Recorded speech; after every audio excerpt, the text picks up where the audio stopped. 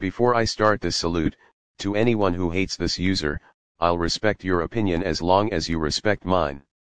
Anyways, enjoy. Dylan T Productions, wow. This user rocks. This user likes to make some awesome videos in the future. Such as rants, salutes, grounded videos, reanimated franchise posters, and many others, and he's a huge fan of Lilo and Stitch, one of his favorite Disney franchise of all time, I respect his opinion on that franchise cause I despite it massively. Anyways. I hope he never gets terminated. Do you know who likes this user? All Lilo and Stitch characters, Dylan T Productions likes Lilo and Stitch, which means they could liked him back, and do you know who hates this user? Lukac Faka. He hates him since he hates this user back, well he sucks for doing that.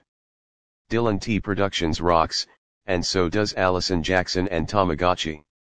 Lukac Faka and my Kirby VL 2016 SR sucks. End of salute.